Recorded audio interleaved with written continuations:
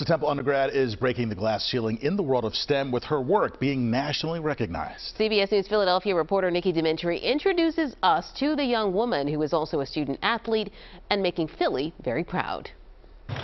Fencing is one of Diana Tiburcio's passions. She started the sport at eight years old.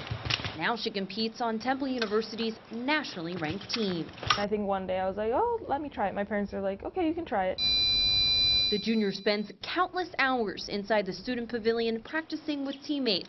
But if you can't find her here, it's a safe bet. She's probably in the lab. Mm-hmm. Research is Tiburcio's other passion. The Malvern native is a first-generation citizen. Her parents are from Mexico. Being an immigrant in this country, I think I was able to see a lot of perspectives, not just my own. That's why the 21-year-old says she's focused on helping underprivileged communities, specifically with access to clean water. I wanted to make sure that what I was doing in my career was improving the lives of people. This year, her work was recognized nationally. Tiburcio is one of two women from Temple and the university's first woman of color to receive the prestigious Goldwater Scholarship. It gives you aid for either if you get it as a sophomore for two years of your co- of your undergraduate degree or a junior your final year. The Goldwater Scholarship is awarded to undergraduates majoring in math, engineering, or natural sciences, showing promise in research.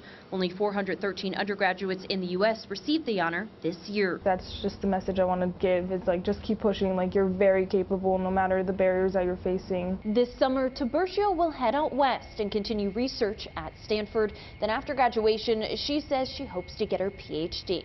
At Temple, Nikki DeMentri, CBS News, Philadelphia.